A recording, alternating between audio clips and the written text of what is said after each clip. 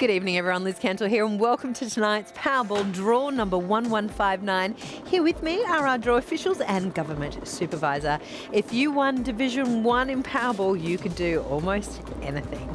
The total Division 1 prize pool, if won tonight, is $50 million. Good luck.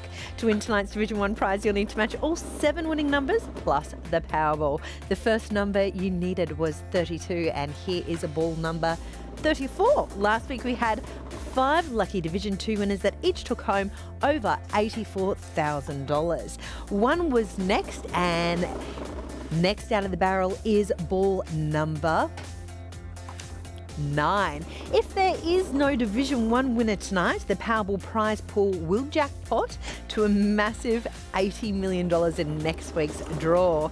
17 was next, and here is ball number 22. To be a winner, make sure you grab your Powerball ticket each week. Here is number three. Now onto the all-important Powerball. While we wait, let's recap those numbers. Once again, they are 32, 34, 1, 9, 17, 22, 3, and the Powerball tonight is number 19. Well, I really hope they were your winning numbers. You can also check your entry in store, online, or on the app. Congratulations to all of our Powerball winners and enjoy the rest of your night.